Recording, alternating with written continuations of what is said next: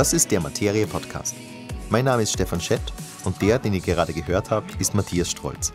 Bekannt ist er als Gründer der NEOS, aber er macht auch sehr viele andere Dinge. Und alle davon haben eins gemeinsam: die Entfaltung und die Bildung. Wir reden heute darüber und das aus sehr vielen verschiedenen Blickwinkeln. Der Matthias ist ein Politschädel mit sehr vielen Themen, die alle eine gemeinsame Klammer haben. Und weil wir auch relativ lange gequatscht haben, starten wir gleich rein. Matthias, schön, dass du da bist. Freue mich auch. Danke. Es gibt ja eigentlich tausend Themen, über die man mit dir reden kann. Ich würde aber eigentlich mit einem anfangen, mit dem wir uns das erste Mal gesehen haben, mhm. nämlich 2012 mhm. bei einer der ersten NEOS-Veranstaltungen überhaupt, wo ich rein zufällig war, noch in Salzburg. In Salzburg. Ich erinnere da hast mich. Du ja. mhm. über Bildung geredet, was mir sehr gefallen hat, weil da war ja. Mhm. mhm. Und seitdem hat sich ja vieles getan in Österreich. Du warst jetzt aber im Wiener Bildungsfestival, das, mhm. also, das zeigt ja auch schon, dass es eine neue Rolle bekommen hat. Äh, worum geht es da? Wie, wie war das? Das Wiener Bildungsfestival ist ähm, einer der Leuchttürme äh, in Sachen Erneuerung für das äh, Wiener Bildungssystem. Eine Initiative von Christoph Wiederkehr, der hier in seinem Befund, finde ich, sehr klar ist, dass er sagt, naja, einerseits als Bildungsstadtrat, also das wäre das Äquivalent von einem Landesrat in, in den Bundesländern, in den anderen Bundesländern, bin ich natürlich dafür verantwortlich politisch, dass der, dass der Laden rennt, gewissermaßen. Das ist schauen, dass nichts klemmt, das ist ein bisschen auch Mangelverwaltung, das ist Löcher stopfen, das ist die Dinge einfach schauen, dass sie, dass sie laufen. Ja? Mit all den, dem Licht und dem Schatten, das damit verbunden ist, weil natürlich wir alle das Gefühl haben, hm, das Bildungssystem hängt nicht ganz dort, wo es hingehört. Also man hat ja schon den Eindruck, die Welt dreht sich schneller als das Bildungssystem. Mhm. Ja, und dazwischen klafft irgendwo eine, eine Lücke, wo das Bildungssystem droht, aus der Zeit zu fallen. Also wenn du sagst, wir haben uns getroffen 2012 zum ersten Mal, dann ist es ja gefühlt nicht besser worden, die letzten elf Jahre, sondern Natürlich ist vieles passiert, auch Gutes muss man sagen, können wir nachher gerne drauf schauen. Und insgesamt aber ist die Erneuerungsgeschwindigkeit des Teilsystems Schule nicht dort, wo es sein müsste, damit es auf Höhe der Zeit ist. Und da hat Wiederkehr beschlossen und bin da als Berater jetzt auch ein paar Monate aktiv dabei gewesen. Bin jetzt am Auslaufen in diesen Wochen. Zusätzlich Erneuerungsimpulse hineinzugeben, also Inseln des Neuen zu schaffen. Und das ist zum Beispiel das Wiener Bildungsversprechen, wo er jetzt gerade verkündet hat, dass äh, zusätzliche zwölf Schulen reinkommen. Das ist ein Organisationsentwicklungsprozess, also da, da begleitet er Mittelschulen mit äh, Expertinnen und Experten in ihrer Entwicklung. Also so wie wir eigentlich auf Unternehmen schauen, auch auf Non-Profit-Organisationen, dass wir sagen, gehen wir auf Klausur, gehen wir uns strategische Schwerpunkte und so weiter. Das haben wir ja, Schule haben wir nie so gedacht. Da haben wir gedacht, hm, das muss man nicht entwickeln. Ja, natürlich. Jeder Kirchenchor entwickelt sich mitunter bewusst und so soll man auch Schule sehr bewusst entwickeln und da hat er eine ein professionelles Begleitprogramm gestartet und das wird jetzt vergrößert. Oder auch die Wiener Bildungschancen, das sind äh, vier Millionen jetzt ausgesteckt fürs heurige Schuljahr. Das finde ich großartig. Da kann sich jede Pflichtschulklasse in Wien im Gegenwert von ca. 700 Euro Zusatzangebote abrufen von über 120 mittlerweile Initiativen, die sich dort äh, akkreditieren haben lassen, also die werden qualitätsgecheckt. Da sind Initiativen dabei, die sagen, hey, äh, wir haben Antworten auf, auf Mobbing, wir sind, haben einen Bewegungsschwerpunkt, wir haben einen Demokratieschwerpunkt, ähm, wir haben einen Entrepreneurship-Schwerpunkt, was auch immer, äh, Gender-Schwerpunkt. Was die, was die Klasse interessiert, haben wir ein Aggressionsthema, dann werde ich ein anderes Angebot einbuchen als Klasse. Also da kann jeder Elternteil im, im Klassenforum beim Klassenabend sagen, hey, haben wir uns das schon abgeholt? Wahrscheinlich sind es sogar mehr als 700 Euro, weil sich es nicht alle abholen werden. Mhm. Ja, aber die Idee auch von außen Impulse hineinzubringen ins Schulsystem. Und ein weiterer Leuchtturm ist dieser Bildungshub, äh, Innovationshub, der kommen wird. Da läuft gerade die eine Art Machbarkeitsstudie, das heißt einen physischen Ort zu schaffen, wo man sagt, hey, wir führen hier zum Beispiel innovative Lehrerinnen und Lehrer zusammen mit, mit äh, Initiativen, Startups. Äh, wir, wir wollen voneinander lernen. Wir wollen die, die, die kleinen Inseln eben zusammenschließen zu Inselgruppen. Die, die wollen wir groß machen. Um, darum geht's. Ja, und das Wiener Bildungsfestival war ein weiterer solcher Leuchtturm. Da haben wir 500 Leute versammelt, die einen Tag lang sich einfach auch erfreulichen Themen gewidmet haben, aber auch schwierigen Herausforderungen, unter anderem die gemeinsame Sprache Deutsch. Ganz klar, das muss funktionieren. Wenn wir wissen, muss besser funktionieren wie bisher, wenn wir wissen, dass über die Hälfte der, der Volksschülerinnen und Volksschüler nicht Deutsch als Muttersprache haben, dann bedeutet das für mich zweierlei. Erstens, sie haben eine Muttersprache, die ein weiteres Universum darstellt. Also jede Sprache ist ja auch ein, ein Geschenk, ein Universum, das mich bereichert. Das ist super für das Individuum, auch für uns als, als Volksgemeinschaft, als, als Wirtschaft. Und gleichzeitig muss diese Person Deutsch lernen, meines Erachtens, weil die gemeinsame Unterrichtssprache Deutsch muss einfach funktionieren. Wenn sie nicht funktioniert, das ist zwar lustig in der American International School, ja, da mhm. machen wir auf Englisch, aber ansonsten flüchten halt alle, die können, nehmen ihre Kinder und gehen woanders hin und du hast irgendwo dann Brennpunktschulen. Und, und das ist auch nicht gut. Also ganz ehrlich gesprochen, hätte ich Deutsch nur durch einen Fernsehsender gelernt und dann am Mittagstisch, dann würde ich es halt auch nicht so können, wie ich es jetzt kann. Deswegen müssen wir muttersprachlich fördern. Sonst haben wir äh, den Zustand, dass mitunter 15-Jährige nicht gerade Türkisch können und nicht gerade Deutsch. Und da, da, damit ist, ja, ist niemandem geholfen. Ja? Das ist ja, glaube ich, das Problem, dass man, also wie du sagst, es geht, es geht zwar etwas mhm. Positives weiter, mhm. aber de facto ist Bildungspolitik ja doch immer Diskussion über Unterrichtssprache Deutsch, über Mobbing hast du angesprochen, mhm. über viele Probleme, die wir schon sehr lange haben eigentlich mhm. und noch immer keine allumfassende Lösung gefunden haben. Die mediale Debatte dreht sich dann aber teilweise um Sachen wie, wie wird KI Bildung verändern, mhm. wofür dann ja gar kein Platz mehr ist, wenn man so viel mit Pflaster beschäftigt ist. Ja, war ja auch beim FASMA mit drin für die neuen Lehrpläne. Es sind ja zeitgleich eingeführt worden, das, das neue Pflichtfach äh, digitale Bildung. Da ist was gelungen. Also ich will auch respektieren, was gelingt. Äh, dass das jetzt verpflichtend ist, kann man vieles bemängeln. Also wie der Rollout mit den Gratis-Laptops oder fast Gratis-Laptops. Mhm sind die Lehrer schon fit, die dort unterrichten? All das werden Challenges sein, wenn wir halt wissen, dass, dass natürlich manch ein Zwölfjähriger auf, auf diesen Geräten besser drauf ist, als er je ein Lehrer sein kann, möglicherweise. Mhm. Ja, das ist einfach, das sind Digital Natives, die haben da einen Startvorteil, den kannst du mit, mit 45 Jahren nicht aufschulen lassen, mitunter. Äh, dennoch, da ist da ist einiges gelungen. Also ich komme ja aus einer Zeit, wo, wo vor allem ÖVP, SPÖ, nämlich 100 Jahre, über 100 Jahre gestritten haben, Gesamtschule ja, nein. Und die einen haben gesagt, das ist das, also wenn wir die Gesamtschule endlich haben, dann ist alles gut. Und die anderen haben gesagt, das ist Teufelszeug, ja, das ist Kommunismus, brauchen wir nicht.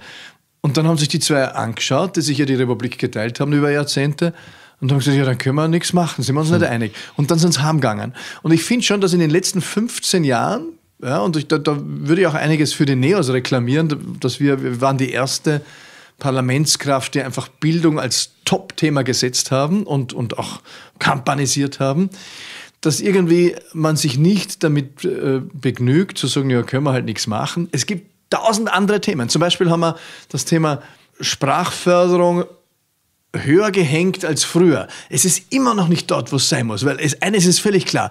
Kinder im Alter von vier bis sechs, von drei bis sechs, die sind solche, die sind wie ein Schwamm. Wenn wir denen also irgendwo was zum Saugen geben, sei es die deutsche Sprache, dann ist es, behaupte ich, für 95 Prozent möglich, dass sie gerade Deutsch können mit mhm. sechs. Das heißt, wenn das nicht gelingt bei 95 Prozent, dann haben wir strukturell versagt, dann ist es nicht deren Verschulden, dann hat das System noch nicht ausreichend gute Antworten gegeben. Das heißt, wir haben höhere Sensibilität, wobei ich für diese Anträge zum Beispiel im Parlament nie Mehrheiten bekommen habe. Ja, das hat irgendwie die ÖVP und die FPÖ nicht interessiert, vor allem. Die einen sagen, das, das Ausländer gefrasst das auf die Art, die wollen wir insgesamt die, nicht. Die und SPÖ hat es interessiert? Die SPÖ hat hier einen, einen differenzierteren Blick drauf, aber ist jetzt war auch kein großes Herzensanliegen. Ja? Habe ich den Eindruck. Die Grünen sind da schon aufgeschlossener. Ja, da, da, da waren wir auf, auf einer Linie an und für sich, dass wir sagen, ja, die, die Muttersprache ist das Trampolin für Deutsch als Zweitsprache. Also gelingt die Muttersprache nicht, wird auch Deutsch nicht gut gelingen. Wo ist mehr Sensibilität? Ich glaube jetzt beim Thema mentale Gesundheit, da reden wir schon viel drüber. Die Antworten kommen von der Seite, noch nicht aus der Schule heraus. Deswegen die Bildungschancen zum Beispiel. Für mentale Gesundheit kann man sich auch äh, Unterstützung holen in die Klassen in Wien, in die Pflichtschulklassen. Dafür ist das Land zuständig. Äh, die Bundesschulen, da ist ja der Bund zuständig. Auch darüber sollte man diskutieren. Das ist äh, nicht gut aufgehängt, finde ich, strukturell. Aber ja, da kommen auch mit unserer Mega-Bildungsmillion arbeiten wir ja bei der Thema Chancengerechtigkeit immer in die Sachen hinein, in diese Themen. Wie können wir gerechte Chancen auch schaffen? Das musst du kurz erklären, was die Mega-Bildungsmillion ist. Die Mega-Bildungsstiftung ist eine, eine Stiftung, die von, äh, von einerseits von der B&C Privatstiftung, die B&C ist die Mehrheitseigentümerin von Lenzing, Amag, äh, Semperit, also die größte private Industriegruppe in Österreich, Industriebeteiligungsgruppe und von der Berndorf Privatstiftung. Berndorf ist ein kleiner Mischkonzern, wenn man so will, kommt aus einem Management-Buyout, also hat man in den 80er, 90er Jahren aus der Verstaatlichen rausgekauft, hat sich großartig entwickelt. Manche werden das Besteck kennen von Berndorf oder die machen auch Edelstahl, Freibadewannen und so weiter. Die machen verschiedenste Dinge. Ganz großartiges Unternehmen und die beiden Unternehmen haben gesagt, wir wollen in die Bildung investieren wir stiften hier 5,5 Millionen und legen jedes Jahr auch äh, gute Millionen drauf. Und damit haben wir die Mega-Bildungsstiftung gegründet.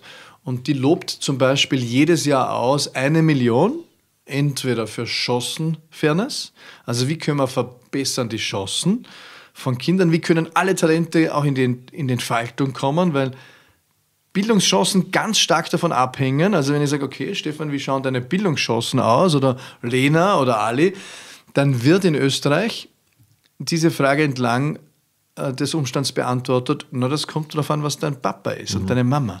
Also es, es wäre ja grotesk zu glauben, dass der Herrgott irgendwie mit seinem Wäschebeutel an Talenten durchgeht und sagt, autochton, kriegst Talente, syrische Abstammung, türkische, wie auch immer, da gehen wir vorbei, kriegst keine Talente. Nein, ich glaube, in jedem Kind wohnen Talente, die wollen nur eines, in die Entfaltung. Und wir wissen aus der Statistik, dass wir, jetzt haben wir ja im Sonderschulbereich umstrukturiert, heißen auch nicht mehr so, wir haben über Jahrzehnte gesehen, dass wir Gastarbeiterkinder oder Ausländerkinder oder jetzt sagen wir jugendliche Kinder mit Migrationshintergrund, in, dass die völlig überrepräsentiert waren in Sonderschulen. Und da darf man kritische Fragen stellen. Ist niemand aufgefallen über Jahrzehnte oder zumindest hat niemand mhm. was getan. Wir haben das dann begonnen zu thematisieren, natürlich auch im Nationalrat, weil das natürlich tragisch ist. Also das ist menschlich tragisch. Das ist volkswirtschaftlicher Wahnsinn. Also wenn ich ein Kind habe oder eine Patentochter, die 17 und ich stelle mich vor sie hin und sage, hey, Lena, oder eben Ali, du hast Talente, einzigartige, aber leider, du wirst deine Flügel nie spannen können. Geht sie nicht aus. Falsche Herkunft. Das ist doch ein unendlich trauriges Bild. Gebrochene Flügel mit 17, weil irgendwie äh, falsche Nachname oder in der, in der Geburtslotterie nicht gewonnen. ja, aber, aber, woran, also wie du sagst, ich glaube mhm. natürlich auch nicht, dass das irgendwas damit zu tun hat, woher du kommst. Also mhm. natürlich hat jeder dieses Potenzial de facto, also ich bin zum Beispiel mhm. der Erste in meiner Familie, der studiert. Mhm.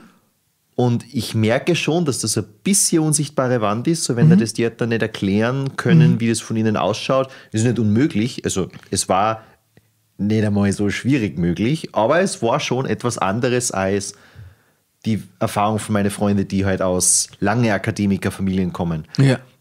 Woran liegt es, dass wir da so viele verlieren? Weil ich, ich wüsste nicht, wo jetzt hinzeigen soll mit mhm. dem Finger, wenn ich auf das Problem zeige?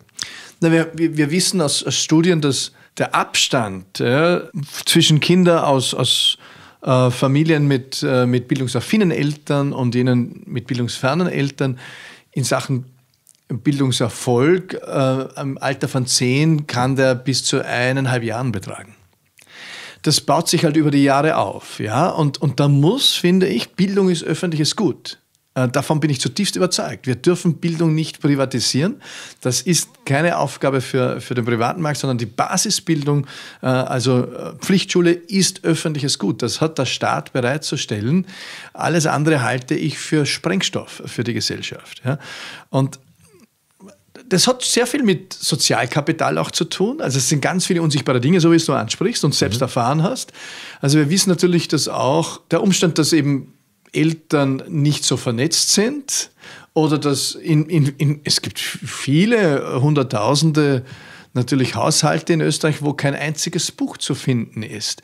Da hast du natürlich ganz andere Rahmenbedingungen, Voraussetzungen und das ist jeden Tag quasi ein Löffelchen äh, an Chance, dass dir einverleibt wird, mhm. ohne dass es du merkst, weil da Bücher herumliegen, äh, weil der Papa erzählt oder also die, die Mama äh, von, von ihrem sozialen Kontext, von ihrem beruflichen Kontext, weil vielleicht dann auch äh, die, die ersten Ferialjobs anders gelingen. Äh, weil der Freundeskreis andere Möglichkeiten hat und dich, die Peers werden dann, also die Gleichaltrigen werden ja dem Alter von, von, wenn wir halt pubertieren, werden die extrem relevant und entscheiden mit auch über die Chancen, die dir angedeihen, weil du natürlich abschaust.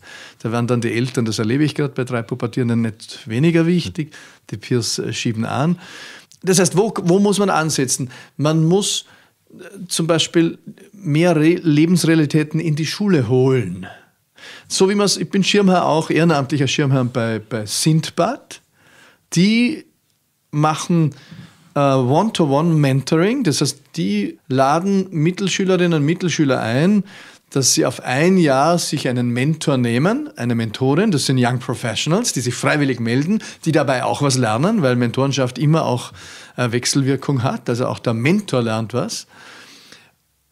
Und dann geht für diese jungen Menschen, die oft aus, aus äh, eben äh, Haushalten kommen, wo, wo man sich nicht so um sie kümmern kann oder wo die wirtschaftlichen oder sozialen Hintergründe so sind, dass, dass halt äh, die Kinder, Jugendlichen oft ziemlich auf sich allein gestellt sind. Plötzlich geht hier eine neue Welt auf.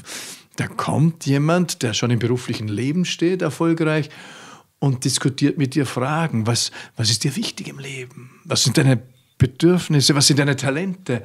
Welche Sehnsüchte wohnen in dir? Was hast du eigentlich vor jetzt? Der nächste, nächstes Jahr kommt dir eine Weiche. Äh, welche Lehre kannst du dir vorstellen? Äh, oder interessiert dich eine weiterführende Schule? Aha, diese Lehre interessiert dich. Du, dann schauen wir mal, ob wir Schnuppermöglichkeiten finden. Also die haben einen Sparringpartner, der mit ihnen das organisiert und boah, plötzlich wachsen denen Flügel, bist du deppert. Ah, das ist berührend, was da innerhalb eines Jahres passiert. Aber es offensichtlich muss es aus der Zivilgesellschaft kommen, weil in der Schule sind wir strukturell nicht fähig, so auf das Individuum hin zu zoomen. Das finde ich schade. Mhm. Sollte Schule fähig sein dazu, sagen wir nicht. Und da mache ich jetzt keinem einzelnen Pädagogen einen Vorwurf, wir sind halt so organisiert. Weil es gibt viele beherzte Pädagoginnen und Pädagogen, aber es gibt auch viele dumpfe Dinge. Heute in der Früh bin ich mit einem gesessen aus dem Bildungssystem, der hat mir berichtet, okay, wenn du zum Beispiel als Pflichtschullehrer einen Auslandstermin wahrnehmen willst, das heißt, du bist irgendwo nicht als Pflichtschule, als Lehrer der Bundesschulen, einen Aus, äh, Auslandstermin wahrnehmen willst, muss der vom Ministerium bewilligt werden. Es sind 50.000 Lehrerinnen und Lehrer sind davon betroffen. Stell dir also vor, so von Fortbildungen Ja, genau. Beispiel. Ich will eine Fortbildung mhm. machen und will, keine Ahnung, bin in Oberösterreich, äh, wohne irgendwo ähm, äh, von mir aus in, in, in Braunau und will rüber nach Passau. Muss irgendjemand an einem fremden Schreibtisch in Wien äh, mir einen Stempel drauf geben. Das kann Wochen dauern. Und das, das kann man doch anders organisieren. Halleluja. Das kann doch ein, ein Schuldirektor besser entscheiden oder eine, eine Direktorin. Das, der, der, will da drüben, keine Ahnung, der will halt, oder in Vorarlberg, der will in der Schweiz sich was anschauen, wie die das machen dort in dieser Schule. Ja, dann soll er gehen. Mhm. Also das, das, das meine ich mit Autonomie, nicht? Freiraum geben, aber auch Verantwortung geben. Weil genau diese, diese Begriffe sind ja eigentlich jetzt nichts, womit die Österreich assoziieren würde. Mhm. Also ich finde diesen Mentoring-Gedanken cool, dass mhm. man gerade Leute, die vielleicht einfach nur nicht den Gedanken hatten, da kommt eine Weiche, mhm. was tue ich jetzt, was für Möglichkeiten habe ich überhaupt und die ja. es vielleicht gar nicht wissen, die so ein bisschen an der Hand zu nehmen. Mhm. Aber eigentlich ist es ja das Grundversagen schon, dass dieses an der Hand nehmen nötig ist, oder? Ja. Weil unsere Mentalität halt einfach nicht vorsieht, dass man das irgendwann ab einem gewissen Alter selber entscheidet und alle Informationen hat. Genau.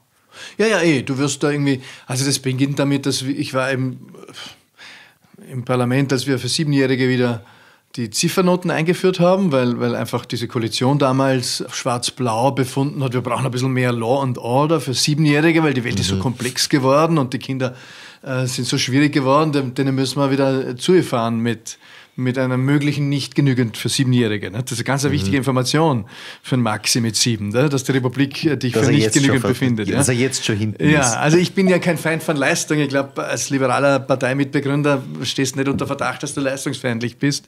Bin auch sehr unternehmerisch und, und äh, sie seit meines erwachsenen Lebens unternehmerisch tätig, mehr oder minder, oder ehrenamtlich tätig äh, mit unternehmerischer Grundhaltung. Aber äh, wir müssen doch nicht den Siebenjährigen mit Noten ins Gesicht fahren, die sollen Feedback bekommen. So wie, da haben sich ganz viele Pädagoginnen und Pädagogen dann nach Abschaffung der Ziffernoten für Siebenjährige über alternative Feedbacksysteme Gedanken gemacht. Ich habe das selber erlebt bei den Kindern. Die haben dann, die sind heimgekommen mit Zettel, wo eine Hand drauf war und da war bei jedem Glied des Fingers, der fünf Finger, war ein Thema eingeschrieben und meine Tochter hat mir erklärt, ja, zum Halbjahreszeugnis, schau Papa, diese, den Zeigefinger habe ich schon fertig da, beim Mittelfinger, da fehlen mir noch zwei.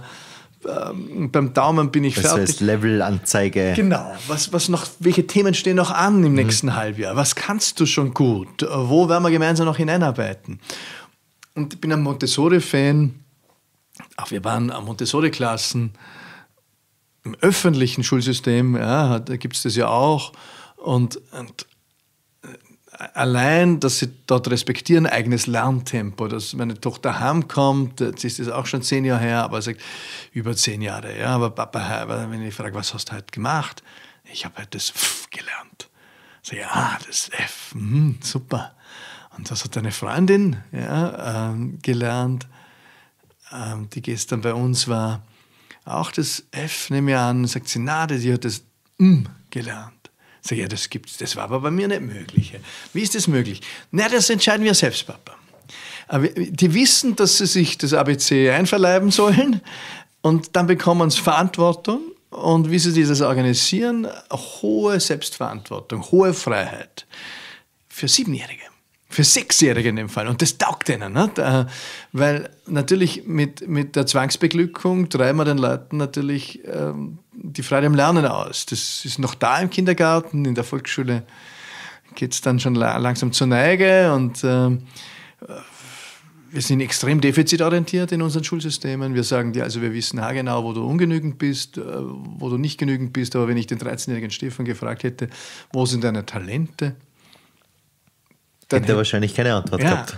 Hätte er gesagt, gesagt nicht Mathe. Das hätte ich das Nicht Mathe, können. genau. Der, der, hätte also von, von quasi Erfolgserlebnissen berichten können, wo er gescheitert ist oder wo er nicht gut ist. Da können sie Bücher schreiben, die 13-Jährigen. Aber die Frage, wo sind deine Talente? Da schauen sie dir an wie Autobus. bin viel in Schulen und sagen, boah, also vielleicht sagt der eine Fußball, der andere sagt Gaming, die nächste sagt, keine Ahnung, Tanzen. Ähm, aber die meisten sagen, diese Frage hat mir noch niemand gestellt, keine Ahnung. Und dann zitiere ich Aristoteles, der sagt, okay, äh, wie ist es mit Berufung? Aristoteles sagt, die Berufung liegt dort, wo deine Talente die Bedürfnisse der Zeit treffen. Also was kannst du gut? Was schlummert da in dir zur Entfaltung? Was machst du dann meistens auch gern? Ne? Das geht ja einher, wenn ich ein Talent habe, dass ich es gern mache. Ja, jemand, der, der, der, der, der gut singt, der, der, der singt auch gerne meistens. Ja? Ähm, jemand, der einen grünen Daumen hat, der tut auch gerne garteln. Äh, jemand, der praktische Hand hat, tut gerne Schrauben, hobeln, wie auch immer. Und, und was war das bei dir? Weil du hast jetzt eh schon im Laufe dieses Podcasts, mhm. und wir reden noch gar nicht so lange, mhm. sehr viele verschiedene Projekte angeredet, mhm. die alle nach Neos waren. Mhm. Davor Neos, davor weiß ich nicht genau, was du gemacht hast, aber was war so quasi bei dir das erstens, was du gut kannst, was ist da die mhm. gemeinsame Klammer und wie du es rausgefunden hast? Also die bleiben auch bei diesem Gedanken Aristoteles, dass dort, wo deine Talente die Bedürfnisse der Zeit treffen. Das heißt, was, was kannst du gut, wo, wo sind deine Talente? Und wo kann man das jetzt brauchen? Wo kann die Zeit das brauchen? Das, da muss man auch genau hinschauen, weil der, der Fluss der Zeit, also wenn man sich vorstellt, das sind zwei Flüsse, deine Talente und, und die Bedürfnisse der Zeit, dort, wo sich die zwei Flüsse treffen, dort werfe Anker, dort liegt eine Berufung. Ja, und nachdem die jungen Leute ihre Talente nicht kennen, weil sie niemand danach gefragt haben, hat, kommen die in, oft in ganz falsche Berufsentscheidungen, Berufswahlentscheidungen und Schullaufbahnentscheidungen. Und weil, weil sie einfach den Erwartungen ihrer Eltern hinterherhechten, der, der Papa ist Tischler, also werde ich auch Tischler. Oder ähm, der Papa ist Arzt, also versuche ich auch Arzt zu werden oder Ärztin oder wie auch immer. Bei mir war es so, dass ich immer viel ehrenamtlich gearbeitet habe. Und eigentlich habe ich all meine beruflichen Engagements übers Ehrenamt äh, bekommen. Das war nicht mein Kalkül. Also ich habe nicht gesagt, ich mache ein Ehrenamt, um einen Beruf daraus zu machen, aber ich war Landesschulsprecher, habe dann Trainerausbildungen gemacht mit 17 schon und, und habe dann ehrenamtlich gearbeitet für die Schülervertretung als Student und auch dann später bezahlterweise als Trainer, als Teamentwickler, als Kommunikationstrainer. Ähm, und hab dann, war dann ÖH-Vorsitzender und Tutor, also Hochschülerschaftsvorsitzender in Innsbruck auch mit jungen Studierenden gearbeitet als Tutor, habe dann eine Train-the-Trainer-Ausbildung gemacht. Da habe ich sehr viel über Organisationsentwicklung gelernt und habe dann am Anfang ehrenamtlich und dann später bezahlt in Non-Profit-Organisationen als Organisationsentwickler, Teamentwickler gearbeitet und, und plötzlich haben mich Firmen geholt. Und nach meinem Studium habe ich äh, beschlossen, ich mache mich in dem Bereich selbstständig. Und äh, dann bin ich aber eingeladen worden als parlamentarischer Mitarbeiter von Karl-Heinz Kopf damals, ÖVP-Abgeordneter und plötzlich war ich auch im Parlament, weil der gesehen hat, aha, das ist ein, der war Landesschulsprecher und so weiter und, und der war ÖH-Vorsitzender, also der muss ein politischer Kopf sein und, und da irgendwie engagiert in Vereinen ist er auch, aber auch in der Blasmusik und so weiter, habe dort auch meine Erfahrungen gemacht als Schriftführer, erster Klarinettist und so weiter. Goldene Erinnerungen ähm, die zum Beispiel heute brauchen kann für meine Kunstprojekte in der Musik. Ja. Und so war er plötzlich dann ähm, Teamentwickler, war Organisationsentwickler, war plötzlich dann auch Politikberater. Ähm, und dann haben wir große Aufträge bekommen, auch von BMW damals und haben uns in eine GmbH gegossen, äh, wir als zwei Gründer, mein Partner und ich damals. Und so hat das einfach seine Entwicklung genommen. Und die Parteigründung kam auch über die Leidenschaft für die Politik einfach. Ähm, plötzlich war klar, wir, wir halten diesen Stillstand von Rot-Schwarz nicht mehr aus. Das kann man sehr, das war halt, die, die Nullerjahre waren von Stillstand geprägt. Schreiend, ja, lähmender, auch noch, ja, ja. ja, auch. Ja. Jetzt haben wir auch eine Art von Stillstand, aber jetzt haben wir einen, einen lauten Stillstand, keinen, also jetzt haben wir einen konfusen, verwirrenden Stillstand, weil es werden ja die, die großen Thema nicht angepackt, also weder das Pensionssystem so aufgestellt, dass es enkelfit ist, noch Bildungssystem, noch hat man, hat man den Eindruck, dass, dass wir fähig sind, das Gesundheitssystem so zu organisieren, dass es nicht in ein Zweiklassensystem abgleitet. Aber dafür diskutieren wir, was normal ist. Genau. Es fühlt sich so an, als würde irgendwie ein öffentlicher Diskurs stattfinden. Ja, es wird ganz viel und ganz heiß diskutiert, so, so heiß wie, wie noch nie zu, zu meinen Lebenszeiten, so polarisiert. Ja, jedes Thema polarisiert sofort aus. Ja, Gibt es auch kaum in der Mitte äh, die Möglichkeit äh, eines, eines intellektuell integren Diskurses, weil einfach die Ränder so laut und so schrill geworden sind. Ja. Das haben wir bei Corona gesehen, das haben wir bei Ukraine jetzt gesehen und, und diesem Angriffskrieg der, der, der Russen. Das sehen wir jetzt, äh, Hamas und äh, Israel aber das wäre interessant, wie du das siehst. Warum ist das so? Ja, weil du bist ein Medienmensch. Warum ist das so polarisiert geworden? Was, was wäre deine Erklärung? Puh. In jedem Thema. Das erste Mal, dass wir eine Frage stellen im Podcast, wahrscheinlich mhm. gleich die. So, wo, ja. Woher kommt Polarisierung? Hm. Ich glaube, das ist ja was, was du in deinem, in deinem Album thematisierst. Ich glaube, dieses, dieses einfache Angebot mhm. der, also bei uns kommt es wahrscheinlich hauptsächlich von den Rechten, aber wie du sagst, eigentlich von beide Ränder, nur bei uns historisch eher von den Rechten, dass das alles nicht so schlimm ist. Also die Welt wird immer komplizierter, es passieren immer mehr Dinge. Da ist die einfache Antwort immer mehr die Trumpfkarte quasi. Mm. Der Populismus wird immer attraktiver. Und dann überlegt sie ja, ich glaube, weiß nicht, wann das losgegangen ist, war 2015, 16 haben dann irgendwann alle gefragt, wie werden wir auch populistisch, weil es mm. ist ja der way to go. Den mhm. kann man sich ja irgendwie nicht entziehen wahrscheinlich. Ja. Und ich merke es ja, weil ich muss auch du musst knackigere auch Titel knackig. schreiben, okay. was mich nicht stört, weil ich ja. glaube, es liegt mir. Mhm. Aber eigentlich ist es schade, weil ich halt weiß, wenn ich es weniger knackig machen würde, würde es wahrscheinlich weniger gelesen. Mhm. Also die, die Sehnsucht nach Schwarz-Weiß ist es, oder irgendwie? Wann wird die Welt endlich wieder so einfach schwarz-weiß, mhm. klar? Wie sie, Klammer, niemals war natürlich, aber, aber natürlich als Kind des Kalten Krieges bin ich in einer Zeit aufgewachsen, die war schwarz-weiß. Ne? Wir mhm. waren die Guten, die anderen die Bösen. Wenn du halt, Redest du jetzt von Kapitalismus, Kommunismus oder von SPÖ, ÖVP? Äh, naja, so, nein, nein, schon von Kapitalismus, äh, Kommunismus. Einfach, wir waren in der westlichen Sphäre und Österreich hat sich da dazu gezählt, wir waren die Guten und die drüben waren die Bösen. Und das war die Großwetterlage. Und die drüben haben gesagt, wir sind die Guten und da drüben über dem Zaun sind die Versifften, die Verführten, die mhm. moralisch äh, Verirrten. Ähm, haben sie es zwar nicht ausgesucht, aber ja. war halt so. Ja. Und diese Sehnsucht ist riesig, ne? deswegen funktioniert auch das Oktoberfest und Gabalier und so. Das ist ja, das ist quasi für, für, einen Abend einmal die Lederhose überwerfen äh, und wir tun so, als gäbe es keine Probleme. Wir beamen uns quasi in die gute alte Zeit zurück und dagegen spricht auch nichts nur das ganze Jahr die Lederhosen anhaben, dagegen spricht einiges, weil dann bin ich in der Verleugnung. Ja? Und wenn wir den Status quo verleugnen, also wenn wir nicht anerkennen wollen, dass die Welt einfach volatil, unsicher, komplex und ambivalent ist, dann müssen wir in die Verleugnung gehen. Die Corona-Leugner, die halt dann gesagt haben, naja, ich mache mal die Welt jetzt wieder schwarz-weiß, weil diese vielen Grautöne und diese vielen Farbtöne halte ich nicht mehr aus. Deswegen stehe ich jeden Morgen auf und ich weiß, der Gates hat es erfunden und der Verrückte aus Davos und damit ist die Welt für mich wieder einfach. Ich kann mir den ganzen Tag bin ich orientiert. Erstaunlicherweise gab es sogar auf der wissenschaftlichen Seite auch welche, die in die Vereinfachung geflüchtet sind und gesagt haben, fünfmal stechen und alles ist vorbei, was natürlich auch gelogen war. Auch die, die Sehnsucht nach, nach, äh, nach einer einfachen Antwort. Ne? Die war schon ein bisschen wissenschaftsgeleitet und natürlich aber dogmatisch natürlich. Und auch die, die Wirklichkeit ist, wir waren nicht fähig zu diskutieren. Ähm, nach Alter, nach Risikoprofil zu differenzieren, das war alles nicht, fähig, nicht möglich. Ne? Bis von beiden Seiten erschlagen worden. Dasselbe, ich wollte eben vorschlagen, zum Album in Deutschland habe ich die Frage gestellt, in Medienbeiträgen, die ich versucht habe zu platzieren, Gastbeiträgen, wo sind die 100 Millionen Milliarden für den Frieden? Weil wir haben ja, Deutschland hat ein Sondervermögen von 100 Milliarden aufgestellt für Verteidigung und für Militär. Und das ist als Ösi, sage ich ja super. Wir sind ja Trittbrettfahrer, ja, mhm. nachdem es in Österreich keine Sicherheitsdebatte gibt, weil ja die Neutralität die Antwort auf alles ist.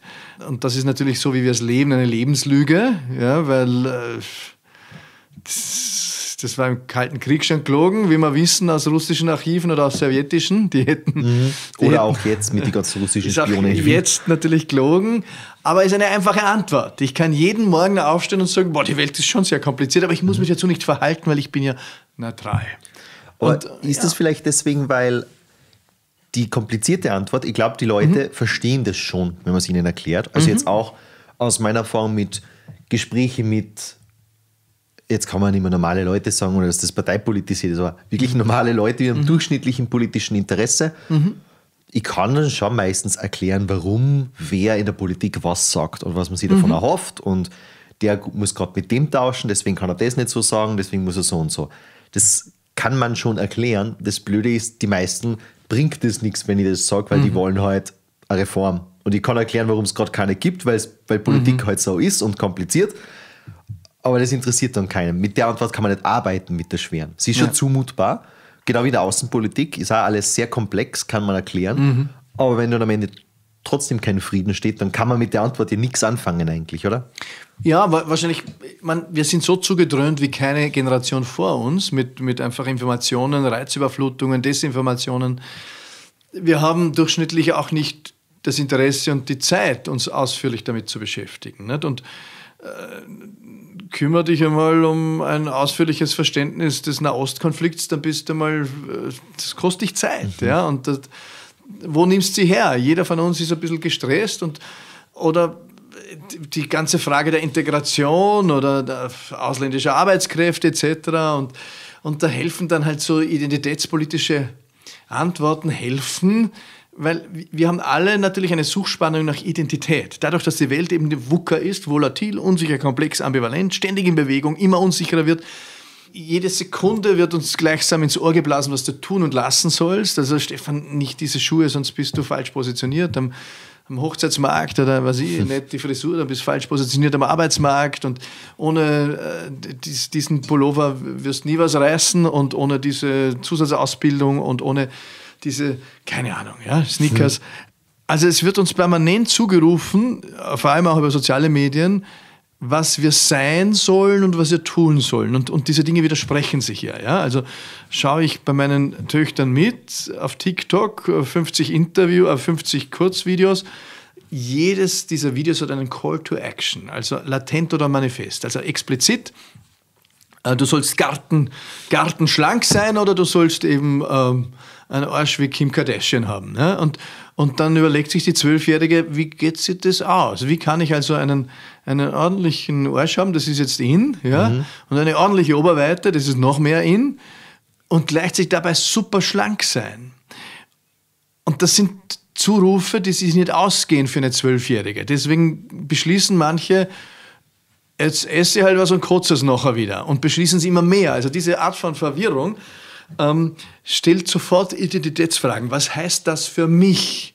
Deswegen rauchen auch so viele Bot oder halt Cannabis. Ich finde das total problematisch, wie viele Junge mit 14 Bot rauchen, aber die, das ist Weltflucht. Weil sie sagen, ich, ich, ich habe mal jetzt 200 TikTok-Videos eingedröhnt, ja, da steht der Kopf irgendwo. Was wollen die eigentlich alle von mir? Weil alle wollen was von mir, ohne dass man jemand explizit sagt, was sie wollen. Aber so, dass ich verstehe, was sie eigentlich wollen.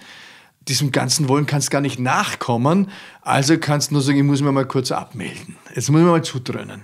Das ist Weltflucht spricht nichts gegen einen Ofen, nur aus der Gehirnforschung. Die Wissenschaft sagt uns hier klarer als vor zehn Jahren, äh, dass es natürlich, wenn die Gehirnentwicklung nicht ausgereift ist, dass das hochproblematisch ist.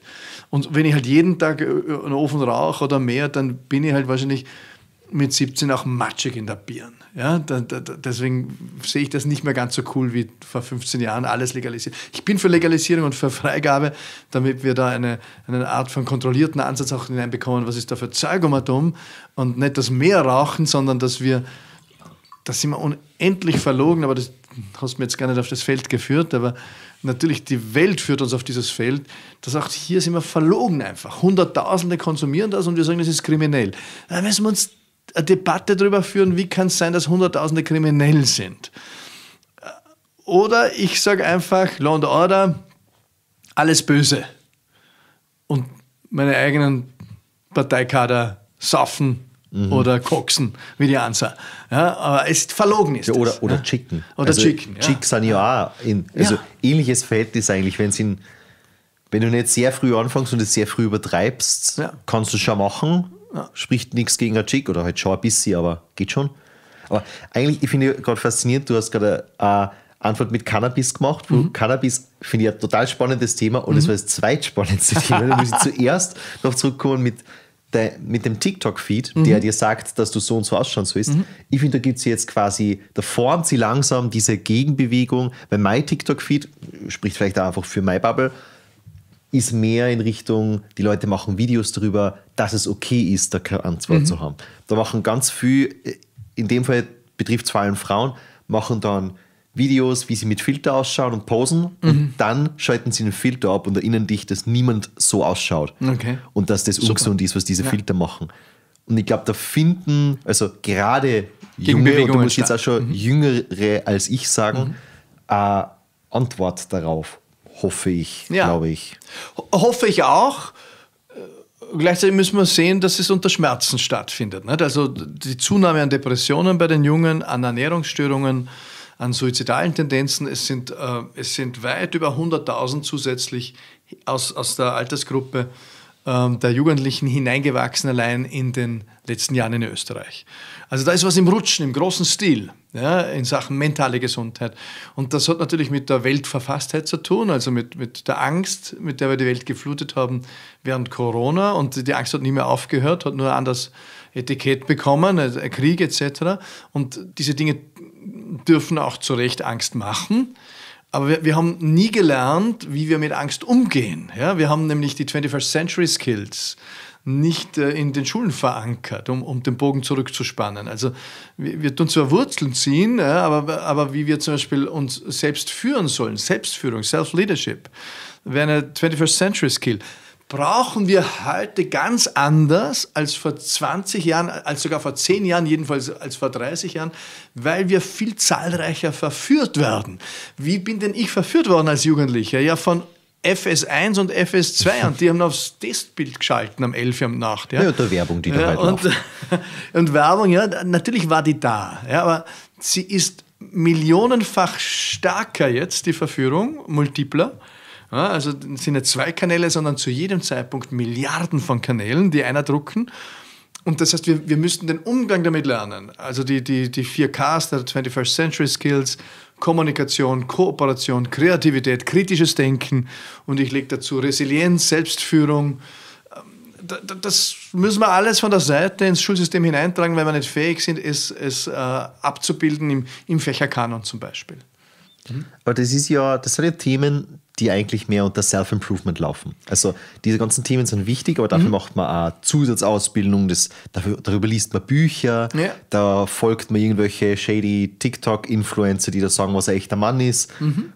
Da kann man sich ja leicht verlaufen, aber ich hätte jetzt an keiner Stelle da die Schule gesehen. Und ich schon. zwar nicht, Wieso weil, nicht? nicht, weil es meine Meinung ist, dass es ja. nicht ist, aber ich wäre nicht auf die Idee gekommen, dass das ein Schulfach zum Beispiel sein ja. könnte, weil du sagst, Fächerkanon schwierig, aber es ist hier schon so gelernt, dass Schule ist quasi Wissen, das sind Fakten, die kommen in den Kopf und später kannst du sie anwenden und bist am Arbeitsmarkt gefragt. Ja. Und solche sozialen Skills eigentlich ganz generell, die entstehen heute in der Pause, ja. miteinander tun. Oder nicht, ja. Ja, oder nicht. Aber sie entstehen nicht durch das Bildungssystem. Also es hat das hier überhaupt nicht. Aber es ist ja ein Jammer. Also es gibt Reformschulen in Deutschland zum Beispiel eine, die hat das Schulfach Verantwortung. Ja, die kriegen ein kleines Budget, müssen von, von Berlin von mir aus bis nach Wien kommen mit 100 Euro ähm, und die, die, lernen da was fürs Leben. Bist du narrisch. Ne? Stranden irgendwo in Passau, ähm, ja, Umwege erhöhen die Ortskenntnis. Ähm, solche Dinge. Oder letztens eine Schule besucht, die betreiben einen kleinen Bioladen als Schülerinnen und Schüler, Mittelstufe.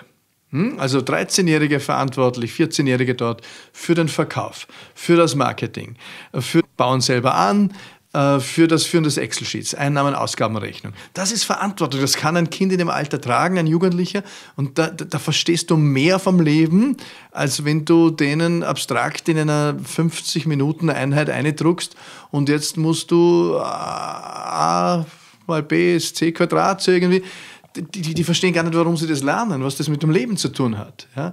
Aber wenn du, das, wir müssen mehr auch, auch den Verwertungskontext äh, und, und den Weltkontext den Menschen vermitteln. Und deswegen die Idee, dass sie Kinder, Jugendliche abfüllen in 50 Minuten Einheiten, die hatten wir ja zu Maria Theresien-Zeiten, das haben wir ja vom Militär übernommen. Äh, Trichter draufsetzen, jede Gehirnforschung, jede Psychologie, Lärmpsychologie sagt, das ist ja grundfalsch. Deswegen müssten wir hineingehen. Also wir haben auch hier ist viel passiert mit Projektarbeiten, mit Exkursionen. Nur wir, wir müssen da noch viel weiter und wir können das auch. Also das Schöne ist, auch NEOS mit angeschoben. Die Regierung hat 2017 ein, ein, Autonomiepaket äh, geliefert. Das hatten sie nicht im Regierungsprogramm. Äh, das, das ist auch dem, dem Druck der NEOS äh, in den zwei Jahren davor zu verdanken. Und das ist zum Beispiel mit den aktuellen Autonomiespielräumen, die die Schulen haben, wäre es möglich, dass du die 50 Minuten Stunden auflöst. Es gibt zum Beispiel äh, die Initiative, auch als Megabildungsstiftung fördern wir die, auch Open School, mhm. wo die in öffentlichen Schulen einfach die 50-Stunden-Segmentierung 50 Minuten, 50 Minuten äh, niederlegen und sagen, wir lassen das jetzt neu auferstehen, so wie wir glauben, dass es Sinn macht. Also wir könnten ja sagen, okay, schauen wir uns das alte Rom an, aus Sicht der Geschichte, aus Sicht der Mathematik, aus Sicht der Biologie. Du kannst, also du kannst plötzlich beginnen, diese jungen Menschen zu begreifen. Nicht auswendig, nicht Bulimie lernen. Also eine stopfen, Freitag Test, äh, ins Heft kotzen, was ich gelernt habe, und am Freitagnachmittag raucht es wieder aus aus dem Hirn, ne? weil ich mhm. muss es nicht mehr wissen. Sondern es geht um, es ist ja, Bildung ist ja als Selbstermächtigung des Menschen gedacht, um einen konstruktiven Umgang mit der Welt zu haben, mit den Herausforderungen des Lebens. Und dafür ist Begreifen notwendig. Ja?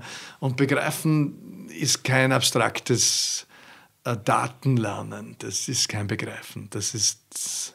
Aber was dort dagegen spricht, ist, wir haben eine Zentralmatura am mhm. Ende, oder? Also ich finde, du, ja. mhm. du kennst ja du hast ja alle möglichen Projektwochen dann, du mhm. kennst die bei dem und dem Thema aus, aber am Ende lernen wir alle auf denselben Test. Und ich habe mir das letztens mal angeschaut, was die Fragen der Zentralmatura in Mathe sind, weil mhm. ich war der letzte Jahrgang, der nicht die Zentralmatura hatte mhm. und sonst hätte ich nie studiert, weil da hätte ich Mathe gehabt und ich habe teilweise nicht einmal die Fragen begriffen. Also mhm. ganz, ganz schlimm. Mhm. Und dann denke ich mir, ja, ich hätte auch gern so innovative Unterrichtskonzepte, 50-Minuten-Einheiten gerne weg, gerne später anfangen als mitten mhm. in der Nacht. Solche Sachen. Aber am Ende haben ja alle die Aufgabe und kannst nur so engagiert, innovativ sein. Am Ende müssen wir alle auf den Test vorbereiten, oder? Ja, also einerseits, die Matura ist teilzentral. Das macht durchaus Sinn, weil natürlich äh, die Schulen extrem auseinandergedriftet sind, was sie unter Matura verstanden haben. Also da gab es diese und jene und das war überhaupt keine einheitliche Währung mehr. Ähm, und das ist dann auch problematisch, wenn sie die Eintrittskarte für ein Studium ist. Deswegen, es hat alles Licht und Schatten. Ja? Also ich habe verstanden, warum man es eingeführt hat. Man hat es ja zuletzt zurückgenommen und äh, teilzentral äh, in dem Sinn verstärkt, dass auch die, die äh, Jahresnoten mit einberechnet werden. Und das halte ich für, für sinnvolle Kompromisse. Was auch verstanden ist, ist dieses Teaching und Learning to the Test. Das ist natürlich elend, das müssen wir hintanhalten. Ähm, heißt das Zentralmatura wieder abschaffen und jeder macht, was er will und an manchen Schulen werden Matura ver ver verschenkt, bei anderen nicht. Hm, ich glaube, da können wir lernen zum Beispiel von, äh, von IB-Schulen. Eine Tochter ist an einer Montessori-Schule, in dem Fall ist es eine private. Die schließen ab mit dem International Baccalaureat, das ist also eine internationale Matura. Und die sind bis drei Jahre vor der Matura, sind die extrem frei in, in ihrem Lernen. Und haben einen, einen sehr freien Klassenverband, sehr projektorientiert, sehr innovativ, sehr progressiv. Und dann in den letzten drei Jahren werden sie auf Jahrgangslogik umgestellt, wo sie stärker auch auf dieses Baccalaureat, auf die Matura vorbereitet werden, wo sie auch äh, klassisch die Fächer haben, stärker inputorientiert und dann natürlich auch prüfungsorientiert. Das finde ich legitim. Äh, da, kann man sagen, ah, jetzt beginnt der Ernst des Lebens und so weiter. Nein, da beginnt eine Vorbereitung auf eine Welt, wie sie halt auch existiert. Ja, äh, nämlich, Wenn der Lehrplan das hergibt. Äh, genau, und, und der Lehrplan ist einzuhalten und diese Lernziele sind zu erreichen und diese Kompetenzen. Das heißt, ich muss die Leute aber nicht acht Jahre damit verrückt machen, äh, sondern ich kann sagen, ja, je näher ich dem Erwachsenenalter komme, umso mehr bringe ich hier auch Ernsthaftigkeit hinein und auch ein bisschen von dem, was da draußen die Welt atmet in Sachen Leistung, Beurteilung etc. Ich bin dafür, dass wir ansonsten die Welt massiv hereinbringen, aber in anderen Kontexten und nicht mit diesem, du bist eben nicht genug. Ja? Es ist ein ewig, es gibt nicht the, the one best way. Das ist ja wie in der, in der Wirtschaft, wenn ich als Organisationsentwickler in Unternehmen bin, sehe ich, jetzt bin ich lang genug dabei, nämlich 30 Jahre, dass diese Dinge haben ihre Schweinezyklen. Ja, du führst, äh, was sie, in, in manchen Unternehmen haben wir alle Sitzungen abgeschafft, haben Stehungen eingeführt und die, die Leute waren ganz fasziniert. Nach einem zwei, drei Monaten bin ich gekommen und habe gesagt, wie geht es euch mit euren Meetings jetzt im Stehen? Und es ist super, viel effizienter. Wir brauchen nur eine halbe Zeit. Mhm. Und, und das ist großartig, ein Gewinn fürs Unternehmen. Und nach fünf Jahren komme ich und sage, wie geht's euch denn? Äh, wie geht's euren, euren Stehungen? Dann sagt sie, das ist ein Schatz, haben wir abgeschafft. Das, ist, das wurde zum Kaffeekränzchen und das war nicht ernsthaft genug. Also es können sich Innovationen auch abstumpfen. Eine Schule ist ein lebender Organismus. Ich bin Systemiker von meinem Doktorat her auch, von meiner Weltsicht. Das sind lebende Organismen. Organisationen. Die haben Bedürfnisse, die können sterben, auch eine Schule kann sterben.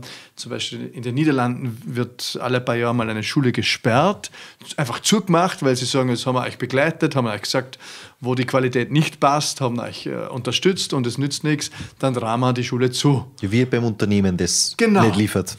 Das ist eine ganz wichtige Information an alle anderen Schulen, die leben. Achtung, ich bin sterblich.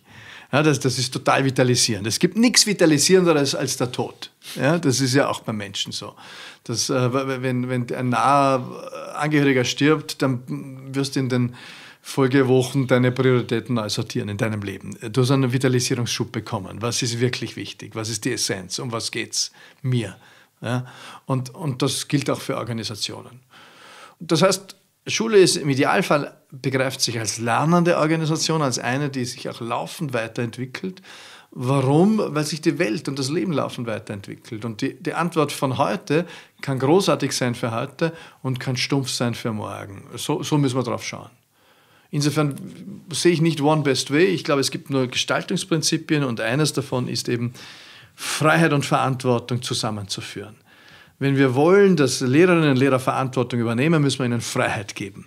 Wenn die das Gefühl haben, ich werde gegängelt von Schreibtischstädtern äh, in einer fernen Stadt, die eigentlich keine Ahnung haben, was mich bewegt in meiner Schulklasse, aber die lassen wir jeden, äh, jeden dritte Woche einen, einen Neuner sein, äh, dann werden die extrem demotiviert.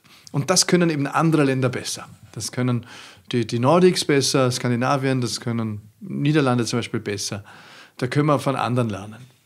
Das kann man im Prinzip total gut auf die Politik übertragen, oder? Mhm. Also ich glaube, da spannen wir jetzt einen weiten Bogen über dem, was wir jetzt geredet haben. Aber das ist ja auch ein bisschen ein Mittel gegen, gegen die Sehnsucht nach der einfachen Antwort, genau. gegen den Populismus. Ja. Das heißt, alles, was im Bildungsbereich passiert und auch vielleicht das, was du jetzt machst, du bist ja nach wie vor Coach. Ich glaube, du machst mhm. diese Pilot deines Lebens-Coachings nur immer, soweit ich weiß? Ja, ja, von meinem Bestseller habe ich ein, mhm. also einen zweitägigen Deep Dive entwickelt. Das, mhm. diese, diese Form, also jetzt Entfaltung genannt, aber mhm. das ist quasi dann auch ja, ein. Bildungsprojekt. Genau. Dass das ja alles eine kleine Mission ist, die Leute quasi auf die Welt vorzubereiten, damit sie nicht dieser Versuchung anheimfallen. Ist genau. das so ein politisches Projekt auch? Mir geht es immer um eine Potenzialentfaltung. Egal, ob ich Papa bin, Parteigründer, ich bin ein Gärtner des Lebens und kultiviere soziale Felder, begleite in der Entfaltung. Da soll was blühen und ich, ich äh, wusel da drum herum und sage, wie können wir es gießen, was können wir tun für dich. Äh, blühen muss die Pflanze eh selbst ja, und, und wachsen. Äh, und die Flügel heben muss, muss der junge Mensch auch selbst. Aber du kannst dabei stehen und sagen, ah, wie, wie könnte man das mit Flügel heben?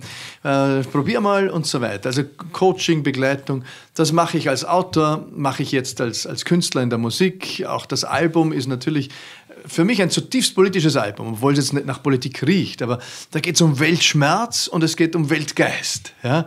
Ähm, da geht's, äh, wir, wir landen im Krieg, back to earth ich will mich zu dem verhalten, was ist, und das ist Krieg. Und ich spüre diese Zerstörung ganz tief in mir, gerade in diesem künstlerischen Schöpfungsprozess. Und, und ich glaube, jeder von uns, wenn er sich hinsetzt, sie sich hinsetzt oder er und einmal dem Weltgeschehen zuhört, dann spüren wir ganz viel Zerstörung, die unterwegs ist und noch mehr wird kommen. Und das kann dich ja eine Depri machen und du kannst sagen, oh, ist das alles. Und warum jetzt? Und ich mittendrin und ich bin Opfer von Verwerfungen aller Art. Oder ich kann mich begreifen als schöpferisches Wesen, das wir sind. Wir können Zukunft miterschaffen. Wir sind das einzige, die einzige Spezies, wir sind nicht die Krone der Schöpfung, halte ich für eine Verwechslung, aber die einzige Spezies, die nach hinten und vorne schauen kann, bewusst. Das Eichhörnchen sitzt nicht äh, auf seinem Ast und sagt, oh, 29. Oktober, heute muss ich zehn Nüsse sammeln. Winter kommt, sondern das läuft bei dem irgendwo instinktiv. Aber wir können nach hinten schauen und sagen, wie war das? Ja, also äh, soll man Raketen aufeinander richten, haben wir schon öfter gemacht. Das ist eigentlich nie gut ausgegangen. Es sterben nur Menschen dabei und äh, immer auf beiden Seiten. Oder will ich daraus lernen? Wie stelle ich mir die Zukunft vor? Ich kann sie manifestieren in meinem Geist und möglicherweise ähm, dann auch mit Taten einladen, so zu werden, wie sie sein soll, meines Erachtens. Wir sind schöpferische Wesen. Wir können es uns nicht komplett aussuchen. Wir co-kreieren. Wir kreieren nicht alleine. Da gibt es Sachzwänge aller Art, also gesellschaftliche Umstände, äh, Budgets, äh, Haushaltsbudgets, äh, Ehepartner, äh, Lebensgefährtinnen, was auch immer. Triebe, Hormone, also wir werden von vielem getrieben und trotzdem bleiben wir zumindest teilweise partiell im freien Willen. Das ist das menschliche Abenteuer im freien Willen. Und deswegen sind wir eingeladen in die Entfaltung. Das Leben will nichts anderes. Das menschliche Abenteuer will nichts anderes als Entfaltung. Davon bin ich, überzeugt.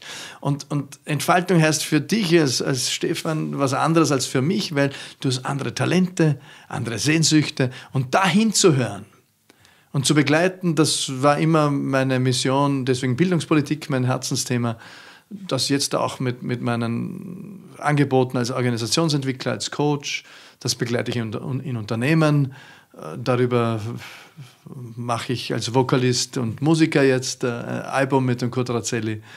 Bin auf Tour, zumindest in Wien und Innsbruck mit zwei Konzerten im November. Darüber schreibe ich Bücher.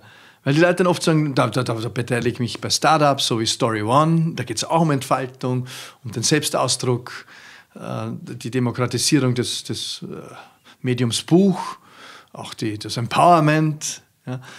Und die Leute sagen dann ab und zu, du machst so vieles, hast du eigentlich einen Fokus. Und ich habe das Gefühl, ich mache immer das Gleiche. Nicht dasselbe, aber immer das Gleiche. Und deswegen fällt mir das so leicht. Ja, das ist alles aus, für mich ist es alles aus einem Guss. Du hast jetzt selber das Wort getrieben verwendet, mhm. was ich spannend finde. Das habe ich mir nämlich beim, beim Hören deines Albums auch ein bisschen gedacht, weil man, man hat ja noch im Kopf als politischer Beobachter, mhm. wie der letzte Rede im Parlament war, dass dir der Rücktritt nicht leicht gefallen ist, dass es sehr mhm. emotional war. Und dann hat sie gefühlt jeder gefragt, was macht er als nächstes. Mhm. Und wahrscheinlich hätten wenige daran gedacht, an Musikvideos mit Arnold Schwarzenegger, Maske, Kurt Razzelli. Aber es ergibt irgendwie Sinn, wenn man so die Texte hört und das ist auch politisch, also hätte ich auch so mhm. rausgehört. Aber das ist schon ein bisschen eine Reaktion auf die Welt, weil es sonst extrem schwer auszuhalten ist, oder? Also ja, absolut, die ganzen, also Corona und dann ja. Krieg, Krise, Teuerung ist Standardmodus worden gefühlt dass du die so sonst gar nicht ausdrücken könntest, dass du sonst, dass genau. das sonst schlecht gehen würde, wirklich. Ich, ich habe eine Sprache gefunden, eine neue, als, als Vokalist, als äh, Lyriker mit Musik, äh, gemeinsam mit Kutrazelli, der die Musik macht. Und da komme ich erst jetzt im Nachhinein drauf, weil ich habe mich öfter auch gefragt, warum mache ich das? Ja, es kostet mir viel Zeit, es kostet viel Geld, also ich verdiene da, damit, äh, wir legen da Geld hinein, wir verdienen da nichts damit. Äh, noch nicht, vielleicht kann sich das ändern, ja, aber ähm, und habe immer wieder meinen Kopf gesagt, lass den Schaß, ja, schau auf das Excel-Sheet, das ist ja zumindest nach neun Monaten äh, nach Projektbeginn einmal begonnen, einen Excel-Sheet zu machen, weil laufend Rechnungen kommen, ähm, Studio, Videos und so weiter, ja, und, und, und du dann sagst, naja, das ist ein bisschen einseitig diesbezüglich, lass es. Und dann frage ich mein Herz, ist es richtig, es zu tun? Und das ist immer sehr klar. Er sagt, ja, geh, geh weiter, auch wenn Häme kommt, auch wenn manche sagen, hat er Midlife-Crisis, ist er verrückt. Nein, das ist tatsächlich eine neue Sprache, um mich zu dem zu verhalten, was ist. Und das ist meine Pflicht. Jeder von uns muss sich zur Welt verhalten.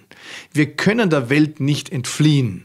Also das hat Viktor Frankl, der Begründer der Existenzanalyse, Logotherapie, hat gesagt, ich habe diese drei Konzentrationslager nur überlebt, weil ich mir eine Freiheit nie nehmen habe lassen, selbst im Konzentrationslager im dritten. Nämlich die Freiheit, mich zu dem zu verhalten, was ist. Er hat es als Freiheit begriffen. Nelson Mandela dasselbe, 27 Jahre im Gefängnis. Er hat es als Freiheit begriffen, dass er sich trotzdem verhalten kann, auf ganz engem Rahmen beschließt, ich züchte jetzt Tomaten, ich studiere jetzt Jus.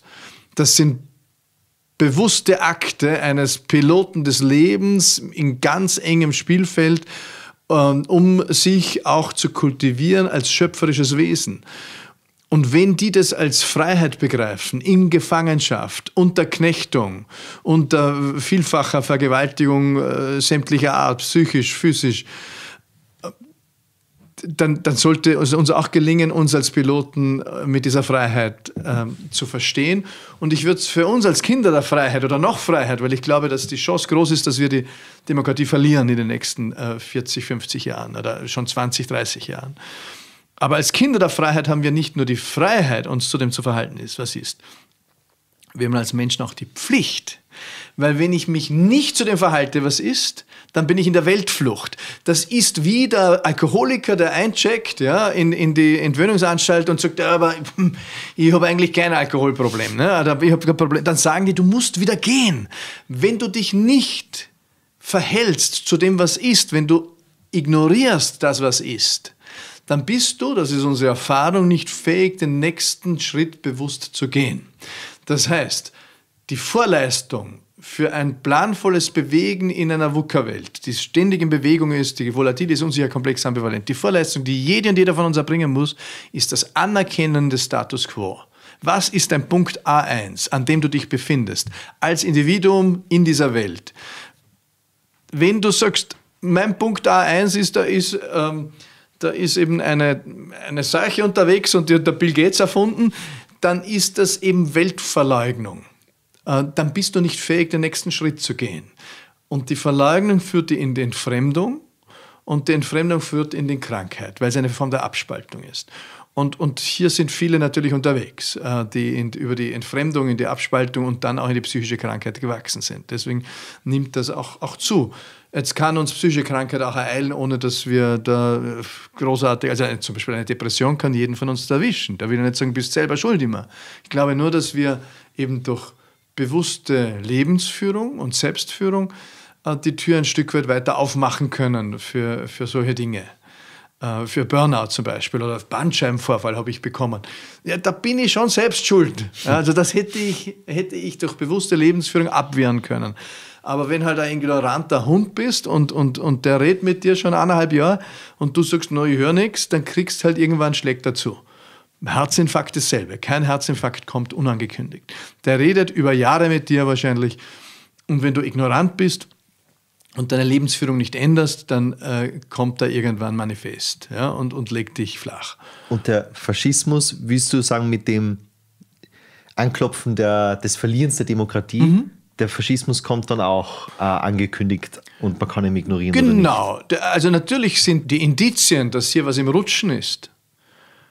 Weil ich, das Thema Rechtsstaatlichkeit war 2013 zum Beispiel bei der NEOS-Gründung 2012 kein, kein großes Thema. Außer dass wir. Ja, Transparenz. Äh, halt. Transparenz, Rechtsstaatlichkeit schon wichtig, aber wir haben das nicht als, als drängendstes Thema für, als eines der drängendsten Themen für Österreich empfunden. Mittlerweile ist es eines der drängendsten, weil natürlich es gibt Mächte, und zwar die, ja, die kratzen gemeinsam fast an den 50 Prozent oder sind sogar drüber in Umfragen aktuell, die beide als Vorbild Viktor Orban haben. Und dazu muss man einfach auch äh, sich vor Augen halten, dass Viktor Orban ein Gesellschaftsmodell propagiert, wo er zwar Wahlen abhält, aber eigentlich, wenn man genau hinschaut, ist es ganz klar, dass er entweder Regierungschef ist oder im Gefängnis, weil das, was er aufführt, natürlich hochkorrupt ist. Äh, dass österreichische Unternehmen dort Schutzgeld zahlen müssen oder andere ausländische, wenn sie tätig sind, dass Universitäten, wenn sie kritisch sind, aus dem Land geworfen werden, dass Zeitungen, wenn sie kritisch sind, eingestellt, gekauft werden über Mittelsmänner und eingestellt werden, dass äh, politische äh, Bürger, wenn sie den Regierungschef kritisieren auf Social Media, morgens um sechs aus dem Bett geholt werden und ihnen das Handy abgenommen wird und der Laptop. Das ist die Frage, wollen wir das für unser Land? Ich will es nicht. Jetzt kann man auch sagen, ja, du bist ja auch einer, der abgeholt wird dann. Ne? Also vielleicht habe ich eine Befangenheit hier. Es lässt sich auch in Ungarn gut leben für viele. Es lässt sich auch in Russland leben. Ja? Es lässt sich auch in China leben, wenn du ein Uigure bist, der im Umerziehungslager hockt, so wie mit, davon, mit, mit Millionen andere. Ja? Oder was du, was du absetzt. Also es ist nicht das Ende des Lebens, in einer Diktatur oder in einer Autokratie zu leben oder in einer Halbautokratie. Das will ich auch sagen. Nur ich fände es tragisch für meine Kinder, wenn sie dort landen würden. Und ich würde es ja auch noch erleben, weil ich habe vor, noch weiter zu leben, ein paar Jahrzehnte. Und, und das ist der Kampf dieser Generation. Und sie haben es noch nicht begriffen, weil sie gar nicht begreifen, was sie imstande oder im, was sie möglicherweise verlieren. Das ist so wie der Kettenraucher, der sagt, ich habe da schon mal gehört, dass das nicht gesund ist, aber mir hat es nicht viel zu tun. Und irgendwann hat er einen Operationstermin und es fehlt ihm ein Fuß und ein Bein, weil das Raucherbein abgenommen bekommen hat. Und dann kann er am Vorabend sagen, nein, nein, nein, jetzt will ich mein Leben ändern, es wird zu spät sein. Das heißt, die Demokratie stirbt im Dunkeln natürlich. Ähm, deswegen müssen wir da immer wieder Licht hineinbringen. Und sie stirbt scheibchenweise. Und wenn wir das nicht bewusst registrieren, welche Scheibchen abgeschnitten werden, und das werden wir jetzt auch verhandeln, äh, dann im nächsten Jahr, also kann man Umfragen kaufen und kann man Medien kaufen. Ich glaube, das ist eine Scheibe, äh, wo Demokratie gestorben ist. Und 20 solche Scheiben und sie ist weg. Und da haben wir jetzt eine Verschnaufpause als Österreich. Aber es ist völlig ungewiss, wie lange die anhält. Ob wir da immun sind. Die Demokratie schafft sich meistens durch Wahlakte ab. Es ist nicht so, dass da böse Männer kommen, die kommen auch böse Männer, ja, äh, sind wirklich Männer in der. Regel äh, und machen das, aber sie brauchen die Unterstützung des Volks. Auch Hitler wurde gewählt. Ja, und dann hat er Dinge gemacht. Und das ist noch, Orban wurde gewählt und wird wieder gewählt.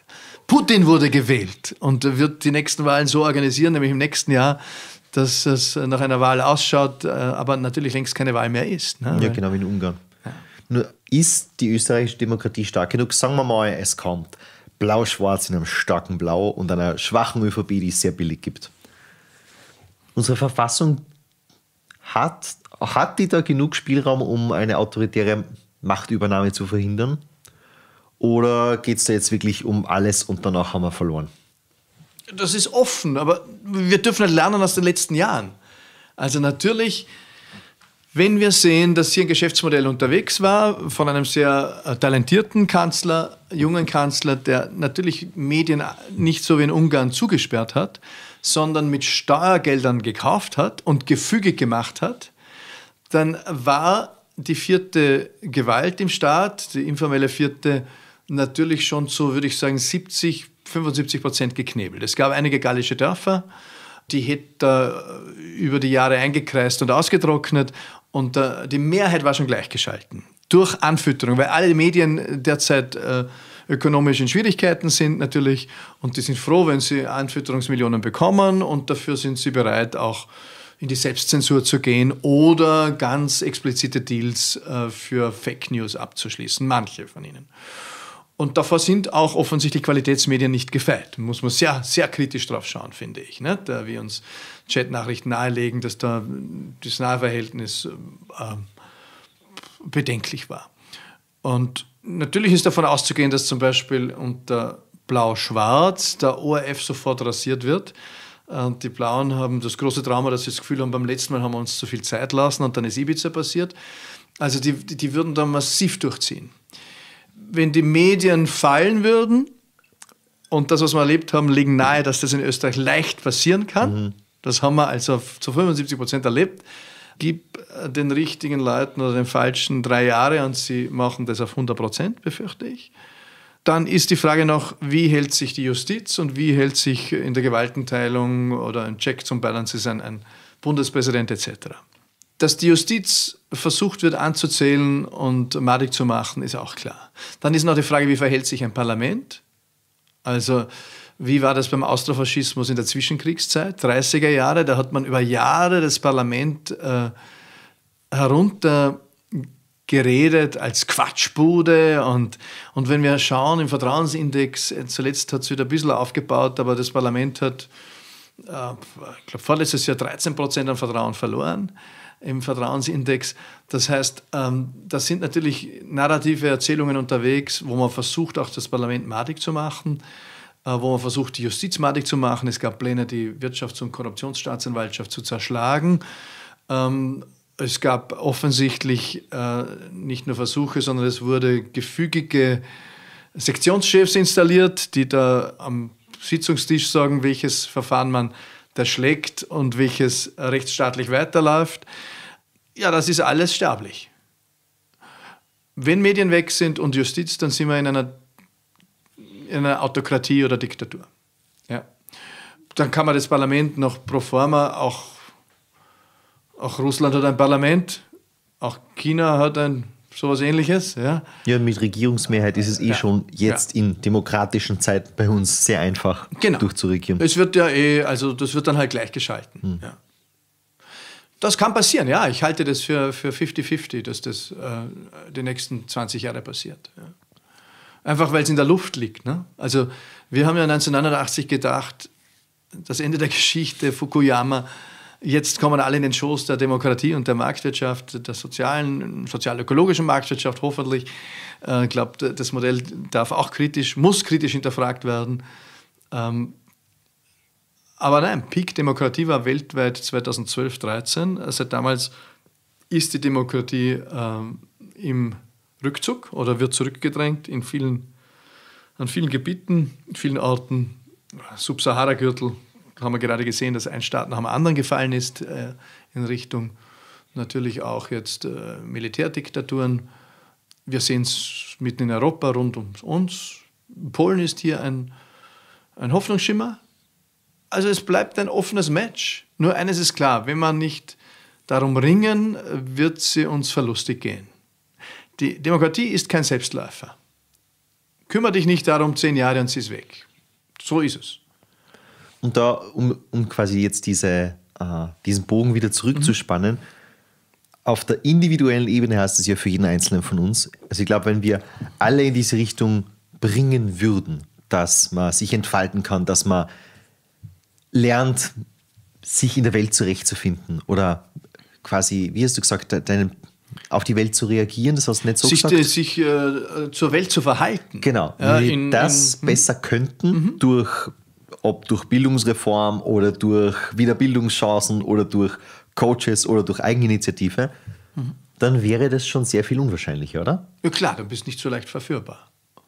Also wenn du dein Leben selbst in die Hand nehmen kannst und dich nicht als Opfer begreifst, dann musst du ja auch nicht äh, täglich Fremdabwertung zur Selbsterhöhung betreiben dann musst du keine Sündenböcke suchen, der Jude, der Ausländer, sondern dann kannst du darüber reden, okay, soll man die Migrationspolitik anders organisieren, dafür spricht viel. Ich finde, dass wir die nicht gut organisiert haben.